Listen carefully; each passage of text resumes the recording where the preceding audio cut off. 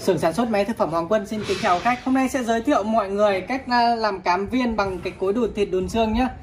À, ờ, hôm nay đã chuẩn bị đầy đủ các nguyên liệu ở đây rồi. Thì đây là một cái cối ờ, đùn gang 12. Motor của mình là đang sử dụng là một ký mốt của bên Trần Hưng Đạo và bây giờ là anh em à, chúng ta sẽ đi vào thực tế. Trước hết là chúng ta sẽ cần đến ờ, nguyên liệu.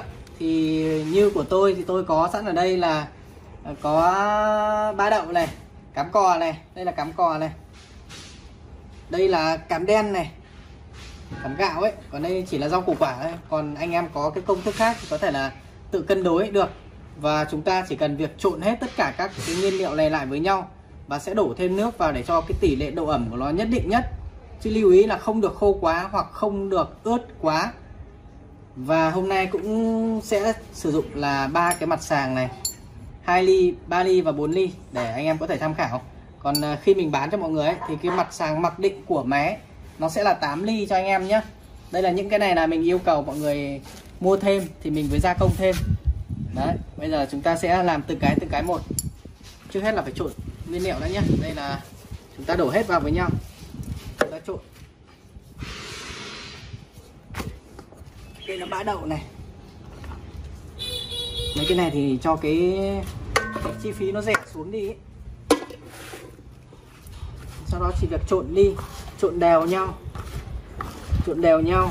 Đấy, như thế này là mọi người có thể nhìn thấy nó rất là khô này. Nó phải gọi là cực kỳ khô này. Chúng ta phải đổ thêm nước vào nhá. Đổ thêm nước vào không khô quá.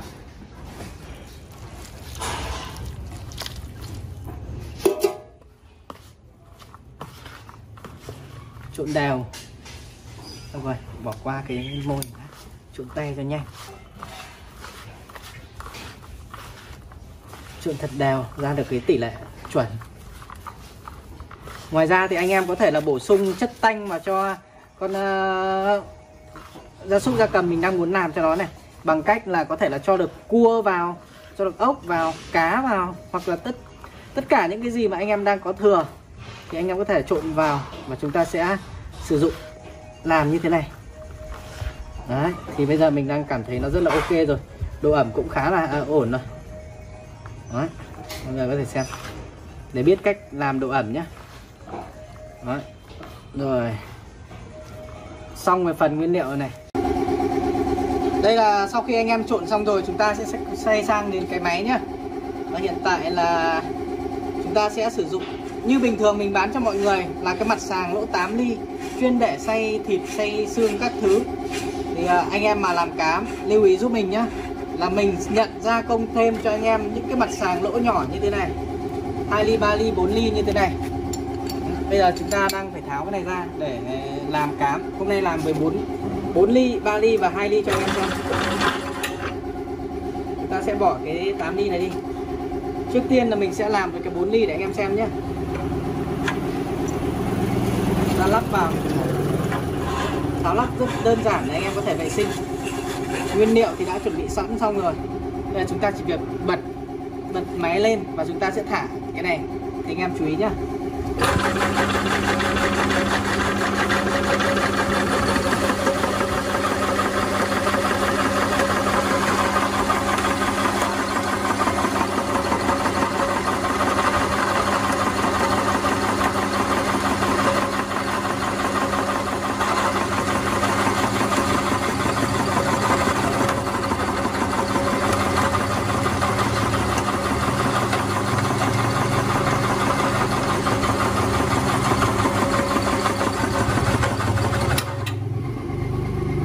Đây là cái 4 ly.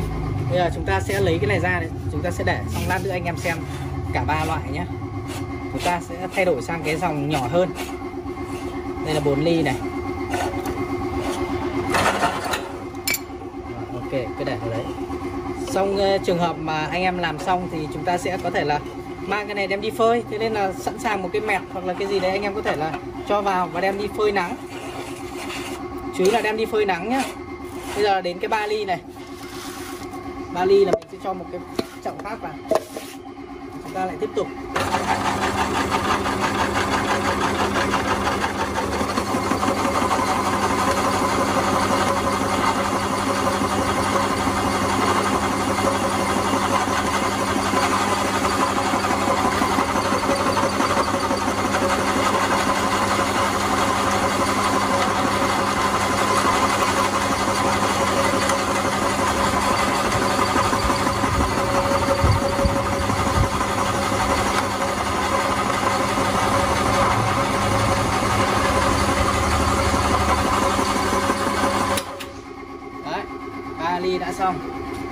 Tiếp đến đến 2 ly, xong rồi bắt đầu mình sẽ làm, cầm lên để cho anh em so sánh. Thế thường ờ, anh em chơi gà, nuôi gà ấy, gà Việt Nam là người ta hay lấy cái 3 ly này này, còn nuôi chim thì lấy cái 2 ly này. Bây giờ chúng ta sẽ đi với cái 2 ly nhá. 2 ly thì mình sẽ quét, một bên là lõm vào, một bên là lồi ra, thì anh em áp cái phần lồi ra này vào bên trong và hướng cái này ra ngoài nhé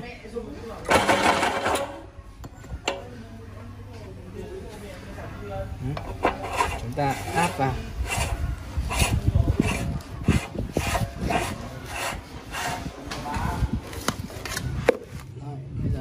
Một cái chậu khác.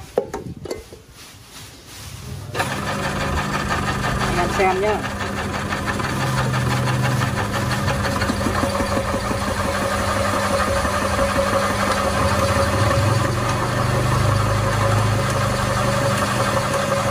đưa vào vừa phải thôi, đừng có nhanh quá mà cũng đừng có chậm quá.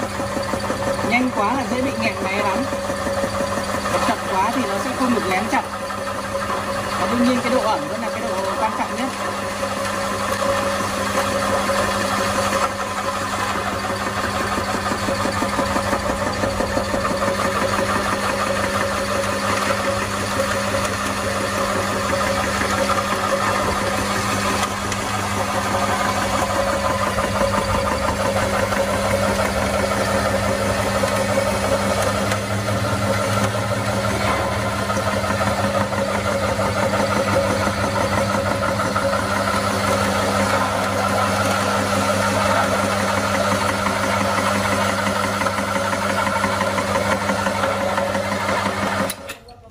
Rồi đây, Chúng ta sẽ dừng lại để anh em tham khảo. Rồi, ba loại, ba cái. Trước hết, Anh em sang xem cái dòng to này nhá. Tôi bốc tay lên để anh em xem này. Đấy. Bốc tay lên để anh em xem 4 ly nhá. Đây là 4 ly này. Được chưa? Đây là cái dòng 3 ly này. 3 ly nó sẽ nhỏ hơn. 3 ly nhỏ hơn. Chuẩn hơn không? Em đi phơi khô thì thao rồi đây thì anh em xem này.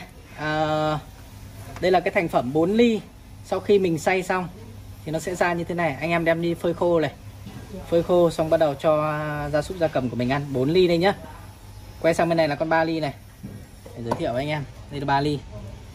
Ừ. 3 ly này. Nhỏ hơn đương nhiên rồi. Chuyên dùng cho gà vịt ngan. Anh em nhé còn cái thằng 2 ly này thì nó sẽ như thế này.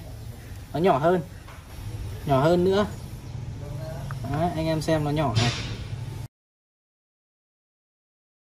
Ngoài ra thì anh em có cái nhu cầu mà làm nhỏ hơn thì phải alo riêng đặt hàng riêng. Thì à, đây là một cái cối đùn chính xác ra của tên của nó là cối đùn thịt đùn xương có tính năng làm cám khi anh em mua thêm những cái mặt sàng như thế này. Mua thêm những cái mặt sàng lỗ nhỏ như thế này cả ở à, trong này nữa. Đấy, 2 ly 3 ly 4 ly.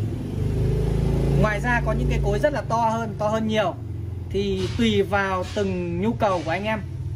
Cái năng suất anh em cần. Vui lòng liên hệ theo số điện thoại.